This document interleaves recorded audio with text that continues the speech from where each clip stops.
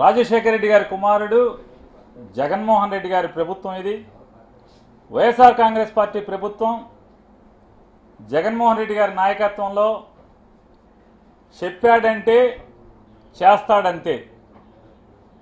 ఎన్నికల మేనిఫెస్టోలో చెప్పినటువంటి ప్రతి అంశాన్ని ప్రతి వాగ్దానాన్ని అమలు చేసుకుంటూ వెళ్ళే క్రమంలో దాదాపుగా నూటికి తొంభై తొమ్మిది శాతం ఎన్నికల మేనిఫెస్టోని.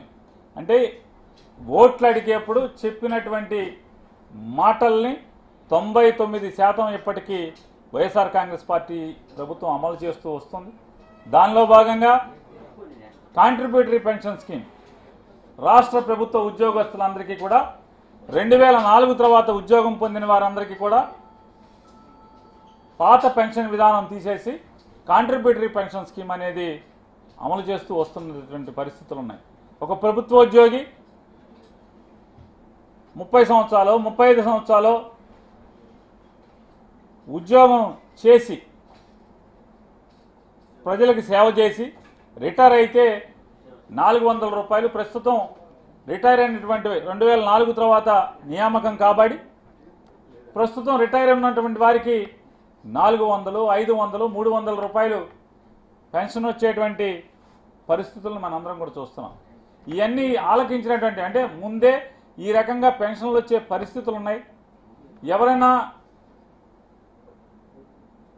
కొద్ది కాలంలోనే మనిషి చనిపోతే కనీసం సెవెన్ తీయటానికి ఎవరన్నా ముందు చూపు లేకుండా డబ్బులు ఆర్థిక పరిస్థితులు ఆర్థిక ఇబ్బందులు ఉన్నటువంటి ఉద్యోగం ఎవరన్నా చనిపోతే కనీసం అంటే మరణి ఉద్యోగ విరమణ తర్వాత కనీసం చనిపోతే సెవెన్ తీయటానికి కూడా ఖర్చులు ఉండనటువంటి పరిస్థితిలో దయనీయమైన స్థితిలో ఉన్నామని చెప్పని పాదయాత్రలో జగన్మోహన్ రెడ్డి గారికి కొత్త తరం ఉద్యోగస్తులందరూ కూడా ఆయనకి చెప్పిన మీదట ఆయన మచిలీపట్నంలో కాంట్రిబ్యూట్ కాంట్రిబ్యూటరీ పెన్షన్ స్కీమ్ మనందరి ప్రభుత్వం రాగానే సిపిఎస్ విధానాన్ని రద్దు చేసి చేస్తానని చెప్పాను ఆయన చెప్పారు.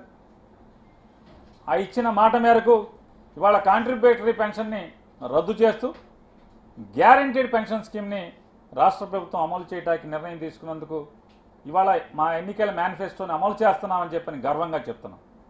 ఇవాళ కాంట్రిబ్యూటరీ పెన్షన్ స్కీమ్ వల్ల ఎన్ని ఇబ్బందులు పడుతున్న పరిస్థితులు ఎంత దయనీయమైనటువంటి ఉద్యోగస్తులు ఉద్యోగ విరమణ తర్వాత ఎంత దయనీయమైన పరిస్థితులు మనం చూస్తున్నాం. దాని గురించి మాట్లాడినటువంటి చంద్రబాబు నాయుడు పద్నాలుగేళ్ళ ఇండస్ట్రీ అని చెప్తాడు. ఈ పద్నాలుగేళ్ళ ఇండస్ట్రీ నలభై ఏళ్ళు రాజకీయాలు అని చెప్పేటువంటి ఆయన అధికారం ఉన్నప్పుడు మాత్రం ఎవడో గుర్తుకు రాడు. అధికారం ఉన్నప్పుడు ప్రజలు గుర్తుకు రారు. హామీలు గుర్తుకు రావు. ఎన్నికల హామీ గుర్తుకు రాదు పార్టీ మేనిఫెస్టో గుర్తుకు రాదు. అధికారం పోంగానే ఎన్ని అబద్ధాలు చెప్పాలంటే అన్ని అబద్ధాలు కూడా చెప్పటానికి నార్పకుండా అబద్ధం ఆడేటువంటి నేర్పరతనం వాడు చంద్రబాబు నాయుడు. ఇవాళ అదొకటే కాదు. ఇంతవరకు ఆంధ్రప్రదేశ్ రాష్ట్ర చరిత్రలో ఒక పే రివిజన్ కమిషన్ని వేయాలంటే pay revision pay revision commission పిఆర్సీని వెయ్యాలంటే ఆ కమిషన్ వేయాలంటే ఉద్యోగస్తులందరూ కూడా రోడ్డెక్కి ఉద్యమాలు చేసి నినదీస్తే తప్పితే ఈ పదకొండు పిఆర్సీలో ఒకటో పిఆర్సీ దగ్గర నుంచి పదకొండో పిఆర్సీ వరకు రోడ్డెక్కకుండా ఒక్క పిఆర్సీ ప్రభుత్వాలు ఎక్కడన్నా నియామకం చేసినయా? ఒకసారి మీరు ఆలోచించుకోండి. ఉద్యోగస్తులందరినీ కూడా నేను రిక్వెస్ట్ చేస్తున్నాను. ఈ పదకొండు పిఆర్సీల్లో ఇప్పటి వరకు అమలైనటువంటి పదకొండు పిఆర్సీలో పేరీజియన్ కమిషన్లో ఏ ఒక్కటన్నా మీరు రోడ్డెక్కి ఉద్యమం చేయకుండా ఏ ప్రభుత్వం అయినా ఒక్క పిఆర్సీని నియామకం చేసిందా? కానీ మీరు రోడ్డెక్కకుండా మీరు అడగకుండా మీరు డిమాండ్ చేయకుండా పన్నెండవ పీఆర్సీని నియామకం చేయాలని చెప్పని రాష్ట్ర ప్రభుత్వం వైఎస్ఆర్ కాంగ్రెస్ పార్టీ ప్రభుత్వం జగన్మోహన్ రెడ్డి గారి ప్రభుత్వం నియామకం చేయాలని నిర్ణయం తీసుకోవటం. ఇది కదా మీరు ఆలోచించండి వ్యత్యాసాన్ని పోల్చండి. ఇది కదా ఉద్యోగుల పట్ల సానుభూతి సానుకూల మనస్తత్వం ఉన్నటువంటి ముఖ్యమంత్రి అవునా కాదా జగన్మోహన్ రెడ్డి గారు అనేది? ఆర్థిక పరిస్థితి ఒడిదు ఒడిదుకుల దృష్ట్యా ఆర్థిక ఒడిదుడుకుల దృష్ట్యా ఎక్కడన్నా ఇలా కాదు ఇలా చేద్దామని మీతో మాట్లాడిన పరిస్థితి తప్పితే సంప్రదించిన పరిస్థితి తప్పితే గడిచిన ప్రభుత్వాన్ని మనం చూసాం తెలుగుదేశం ప్రభుత్వం చంద్రబాబు నాయుడు ప్రభుత్వం నలభై ఏళ్ళ రాజకీయాలని చెప్పేటువంటి పండిపోయిన ముసలవాడైపోయినటువంటి ఓ రాజకీయ నాయకుడిని చూసాం ఎన్నికల మేనిఫెస్టోలో ఏం చెప్పారు? కాంట్రాక్ట్ ఉద్యోగస్తులందరూ ఉద్యోగస్తులందరినీ కూడా క్రమబద్ధీకరిస్తామని చెప్పి చెప్పారు. ఏమైంది? కాలయాపన పేరుతో కాలయాపన చేయడం కోసం కమిటీల పేరుతో మంత్రివర్గ ఉపసంఘం పేరుతో ఐదేళ్ళు గడిచిపోయినా ఏమైపోయింది ఆ మంత్రివర్గం?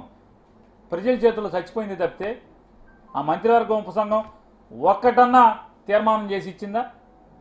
ఒక్క డిపార్ట్మెంట్నో లేకపోతే ఒక్క రికమెండేషన్ ఈ కాంట్రాక్ట్ ఒప్పందంలో ఉన్నటువంటి ఉద్యోగస్తుల్ని వీళ్ళని రెగ్యులరైజ్ చేయండి. క్రమబద్ధీకరణ చేయటం అనేది జరగలేదు కదా?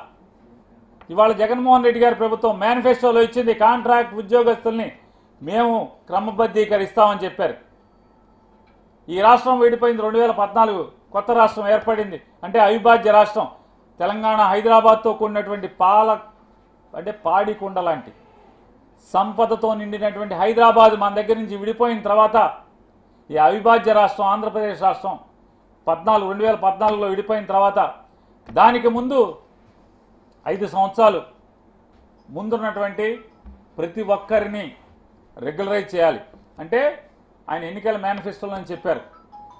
జిల్లా డిస్టిక్ లెవెల్ సెలక్షన్ కమిటీ ద్వారా క్యాస్ట్ రోస్టర్ ప్రకారం ఎవరైతే పద్ధతిగా నియామకం రికమెండేషన్ లేకుండా నైపుణ్యమే ఆధారంగా మెరిట్ బేసిస్లో ఎవరైతే నియామకం చేయబడతారో జిల్లా సెలక్షన్ జిల్లా లెవెల్ సెలక్షన్ కమిటీల ద్వారా వారందరినీ కూడా రెండు వేల పద్నాలుగు ముందున్నటువంటి ఐదు సంవత్సరాల ముందున్నటువంటి వారిని కూడా సుమారు పదివేల పైచిలకు మందిని రెగ్యులరైజ్ చేయటానికి మరి నిర్ణయం తీసుకోవటం ఎన్నికల మేనిఫెస్టోని మరొకసారి ఇచ్చిన మాట నిలబెట్టుకునేటువంటి పరిస్థితి. మాట తప్పం మడమ తెప్పం అంటే. చెప్పాడంటే చేస్తాడంటే చేస్తాడంతే అనేటువంటి ప్రజలు అనుకునేటువంటి మాటను నిజం చేస్తూ ఎన్నికల హామీని కాంట్రాక్ట్ ఉద్యోగస్తులను నియా రెగ్యులరైజ్ చేసేదానికి కూడా ఆయన నిర్ణయం తీసుకోవటం. ఇది ఉద్యోగస్తుల పట్ల సానుకూల వైఖరి అవునా కాదా అనేది నేను జగన్మోహన్ రెడ్డి గారి గురించి ఉద్యోగస్తుల పట్ల ఆయన వ్యతిరేకం అని చెప్పేటువంటి పెద్ద పెద్ద నోరు చించుకునేటువంటి వ్యక్తులందరినీ కూడా నేను ప్రశ్నిస్తున్నాను. అంతరాత్మని ఎవరైతే జగన్మోహన్ రెడ్డి గారిని ఉద్యోగ సంఘాలు కొన్ని ఉన్నాయో దూషణ చేస్తున్నారో వారిని చెప్తున్నా మీరు చాలా సం- చాలా కాలం ఉద్యమాలు నడిపారు సంఘాలను నడుపుతున్నారు. ఈ రకంగా ఎన్నికల మేనిఫెస్టోలో పెట్టి అమలు చేయటమే కాకుండా రాజశేఖర్ రెడ్డి గారి తర్వాత ఈ రక ఉద్యోగుల పట్ల ఈ రకమైనటువంటి సానుకూల నిర్ణయం తీసుకున్నటువంటి ముఖ్యమంత్రిని మీరు చెప్పండి.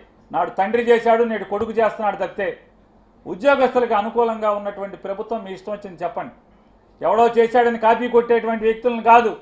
రాజకీయాల కోసం రాజకీయ మనుగడ కోసం తెలంగాణలో ఎవడో ముఖ్యమంత్రి చేశాడు కాబట్టి ఇక్కడెవడో మనం కూడా చేయాలని చెప్పేటువంటి తప్పుడు ఆలోచనతో కాకుండా ఉద్యోగస్తుల పట్ల సానుకూల దృక్పథం రాజశేఖర రెడ్డికి ఉంది. రాజశేఖర రెడ్డి కట్టుబడి పుట్టినటువంటి జగన్మోహన్ రెడ్డి గారికి ఉందనేది చరిత్ర చెప్తున్నది. నేను ఇంకోటో చెప్పాల్సినటువంటి పని లేదని చెప్పనేది. మీ ద్వారా ఉద్యోగస్తులందరికీ కూడా తెలియజెప్తూ అలాగే వైద్య విధాన పరిషత్ ఆంధ్రప్రదేశ్ వైద్య విధాన పరిషత్. అంటే వైద్య శాఖలో ఒక కొత్త శాఖని పంతొమ్మిది వందల ఎనభై ఆరులోనూ ఎప్పుడో సృష్టించారు. సృష్టించిన దగ్గర నుంచి ఈ రోజు దాకా కూడా జీతాల కోసం ఎంత ఇబ్బందులు పడుతున్నారు.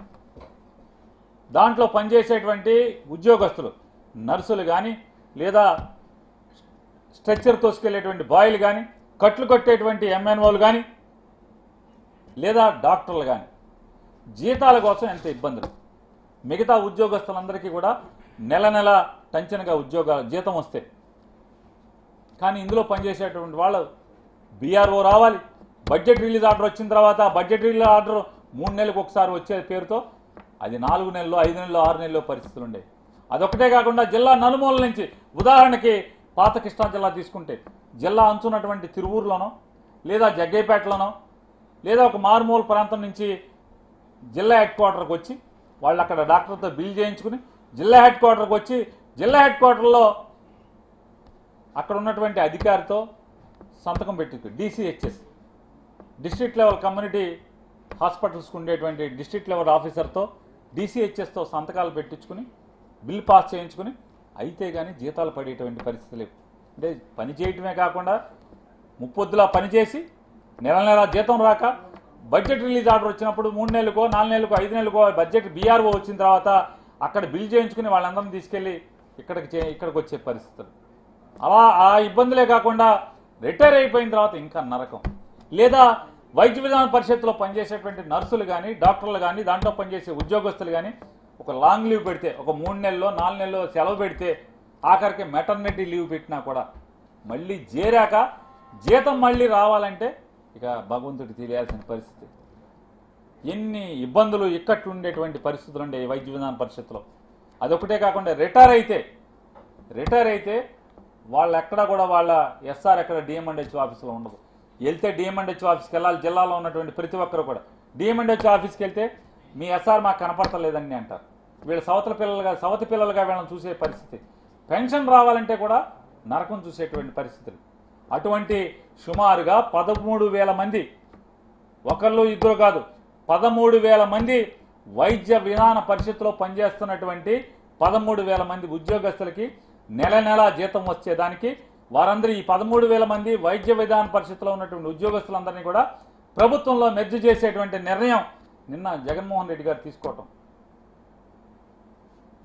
ధర్మం చెప్పండి. ఇవన్నీ జగన్మోహన్ రెడ్డి గారికి ఉద్యోగస్తుల పట్ల సానుకూల దృక్పథం ఉంది అనటానికి ఇంతకన్నా ఇంకేం కావాలి మనకి? ఇంతకన్నా తార్కాణాలు ఇంకేమన్నా కావాలా మనకి?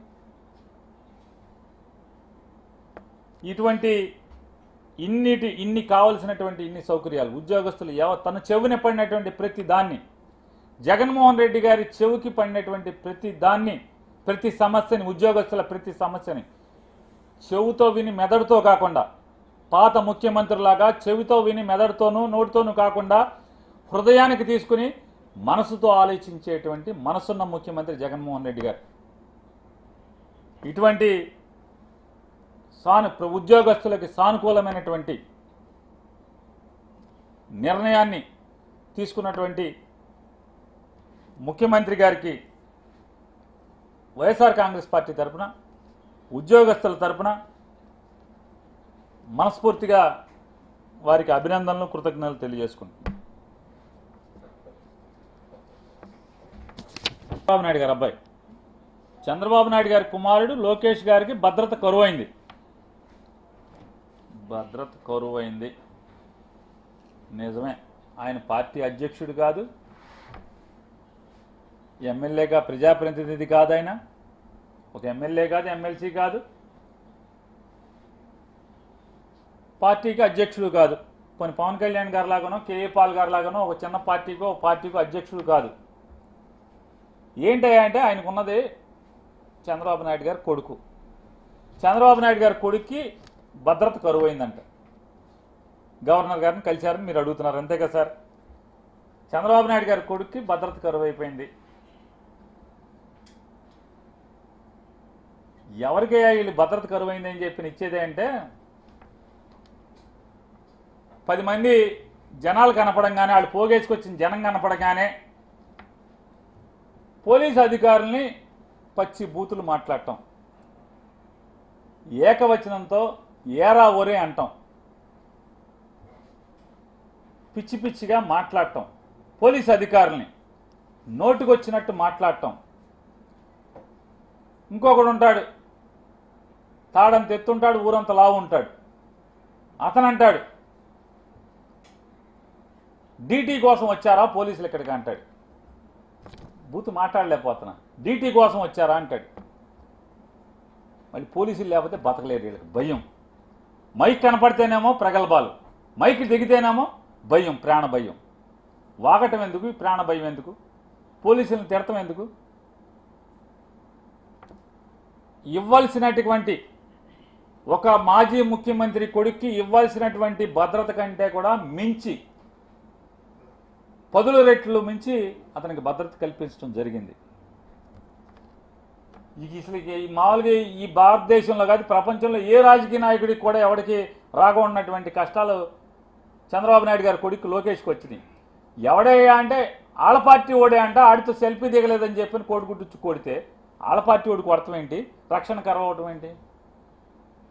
ముందు పార్టీలో క్రమశిక్షణ నేర్పుకోవాలి కదా మీరు. సెల్ఫీ ఇవ్వకపోతే కోడిగుడ్లు ఎట్టు కొట్టి రాళ్ళెట్టు కొట్టే పరిస్థితి దిక్కుమాలిన పార్టీ మీదైతే. ముందు కార్యకర్తలు క్రమశిక్షణ ఇచ్చుకోండి మీరు.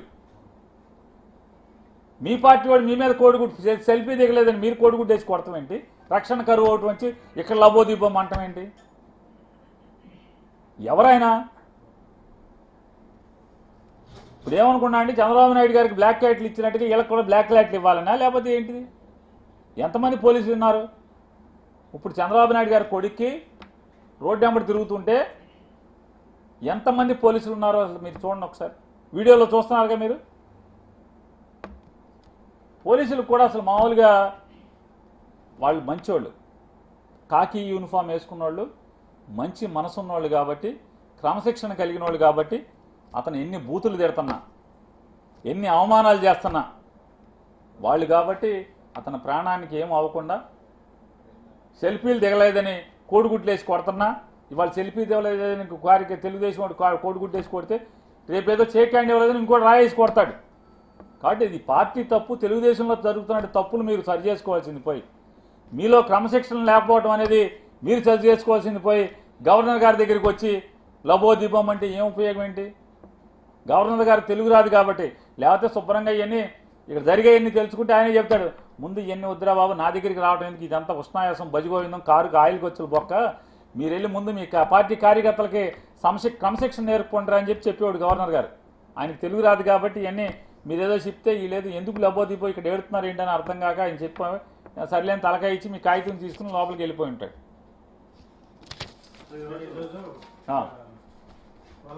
ఒక సలహా వరలరామి గారు సలహాలా? ఎవరు? చంద్రబాబు నాయుడుకా? అక్క, ఆ. మీకే ఇచ్చాను మీ పార్టీ వాళ్ళకు. జగన్మోహన్ రెడ్డిని సీఎం గా రిజైన్ చేయించేసి పెద్దిరెడ్డి రామచంద్రారెడ్డిని సీఎం గా పెట్టమని ఒక సలహా ఇచ్చింది ఇప్పుడు పార్టీ అధ్యక్షుడు ఆయన ఎందుకు ఉండకూడదు అసలు? వరలరామయ్య గారు? ఇప్పుడు సలహాలు ఎవడ ఇప్పుడు ఒక రాజ ఒక వ్యవస్థను నడిపేట అంటే ప్రభుత్వాన్ని నడిపేటువంటి విషయాల్ని సలహాలు ఇవ్వాలంటే ఏదో ఒకటి స్తోమత ఉండాలి కదా? ఏదో ఒక సత్వ ఏదో ఒకటి కావాలి కదా. ఏముంది ఆయనకి? ఏదైనా ఎమ్మెల్యే చేశాడా? ఎంపీ చేశాడా? రాజ్యసభ చేశాడా? గవర్నర్ చేశాడా? పార్టీ ప్రెసిడెంట్ చేశాడా?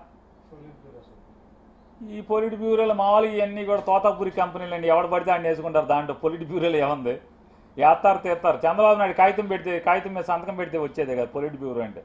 పొద్దున్న సంతకం పెట్టి రాత్రి పీకేశానంటే లేదు కదా. నోటితో పొలిట్ బ్యూరోలో ఉందంటే ఉంది నోటితో తీసేసానంటే తీసేసారు దానికి గవర్నమెంట్ ఆర్డర్ కూడా అక్కర్లేదు కదా. సలహాలు ఎవరికి లేదు మామూలుగా ముందేనంటే చంద్రబాబుకి ఇచ్చుకోమండి సలహాలు శుభ్రంగా. ఇట్లాంటి సూచి సూచి కాపీ రాతలు బసిబిల్లా బాతులు పులిహోరలు కలిపేది మానేసి మంచి జనాన్ని నమ్మి జనం జనంలో క్రెడిబిలిటీ సంపాదించడానికి చంద్రబాబు అనే అటువంటి ఒక రాజకీయ నాయకుడికి జనంలో క్రెడిబిలిటీ సంపాదించుకుంటాకి ప్రజల్లో నమ్మకం కలిగించుకుంటాకి ఏం కావాలో ఏం చేస్తే బాగుంటుందో ఆ రకమైనటువంటి ఆలోచన చేయడానికి చంద్రబాబుకు సలహా ఇస్తే బాగుంటుంది కానీ అది వదిలేసి ఈ పిచ్చి పిచ్చి సలహాలు ఏదో మీడియాలో కనపడతాకి సలహాలు ఇట్లాంటివి అనవసరం అని చెప్పి నా సలహా ఆయనకి. మీ పవన్ కళ్యాణ్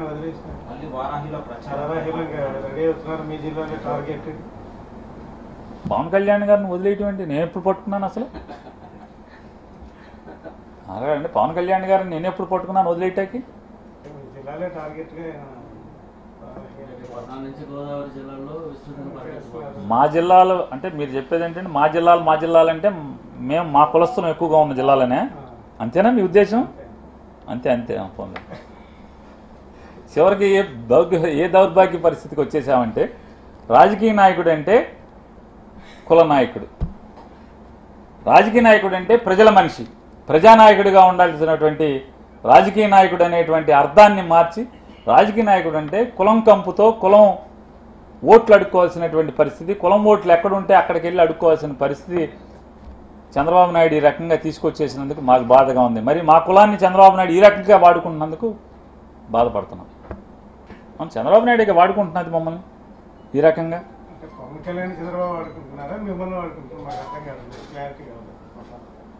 మీరేమన్నారు? మీ కులమని మీరే ఎత్తారు. నేను ఎత్తలా? మీరే అన్నారు అంటే మీ కుటుంబం ఎక్కువ లేదు కదా అదే నేనేమనలేదు. ఇప్పుడు మా మా కులం అని మీరే అన్నారు కదా. నేను మా కులాన్ని ఈ రకంగా అడ్డగోలుగా వాడుకుంటున్నాడు. ఆ రెండు వేల పద్నాలుగులోనేమో మమ్మల్ని బీసీ చేస్తానని మోసం చేశాడు. ఇప్పుడేమో మావాడిని అడ్డం పెట్టి ఈ రకంగా వాడుకుంటున్నాడు. ఈ రకంగా ఎప్పుడప్పుడు ఏంటయ్యా అంటే ఎప్పటికప్పుడు మమ్మల్ని వాడుకుని మమ్మల్ని మోసం చేయటమే చంద్రబాబు నాయుడికి అలవాటు అయిపోయింది